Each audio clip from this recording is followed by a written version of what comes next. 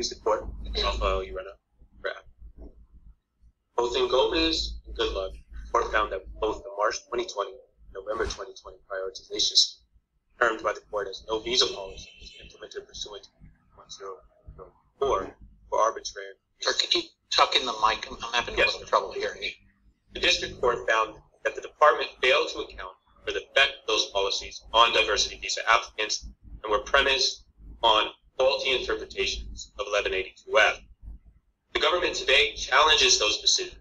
Admitted, they state that the, the government begins this challenge on an expansive reading of 22 U.S.C. 265A.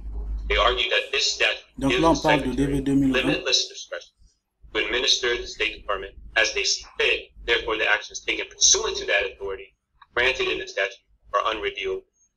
But this expansive reading of 265.1 does not square with the statute. It clearly sets confines on the Secretary's administration of the department to the laws of the United States as implemented by the INA. This reading also does not square with the basic presumption of review in APA cases. The government has offered no compelling reason here creating create an exemption. What about consular non-reviewability? Yeah, This is, this is all about issuance of visas by consular officers. The consular officer had denied your clients visas based on the proclamation, based on priorities, based on anything. No judicial review. there is no denial of visa. I'm sorry? there is no denial of visa. That is here.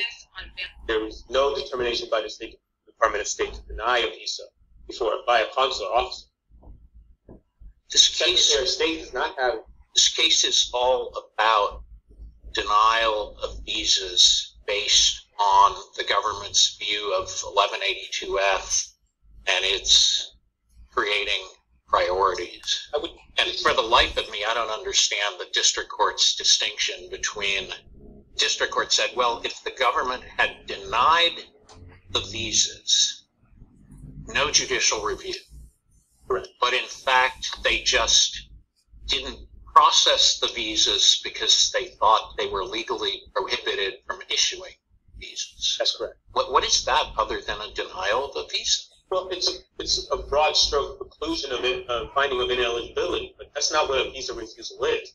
A visa refusal is a decision by a consular officer at the time of application to refuse the visa.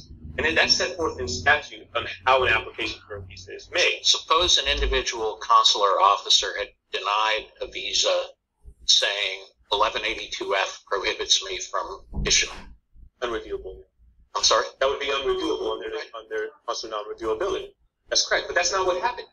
So if I had a client who brought a claim before this court saying that the 1182F refusal was in fact uh, unlawful, this court would not have an authority to do that. But we're challenging a implementation of, uh, a le- of an executive order, and that's what's uh, I challenge here, not the actual refusal. of the visa. The, the only bite any of this has for your clients is that they didn't get visas. Well, they didn't get an opportunity to apply for a visa. They were precluded processing of their visa application. That's really what which which would have been denied based on 1182F, and that would But be were- unreviewable. But there was some waivers in place, put in place, that would perhaps given them the right to have a visa under that, uh, under the uh, implementation of PP 10014 and both of PP 9984 and uh, the travel ban. So there, it's not necessary that they would not Okay, fair. Fair, fair, enough, but then the adjudication whether or not the waiver applies would be unreviewable. as to the specific one. Right. Yeah. Right.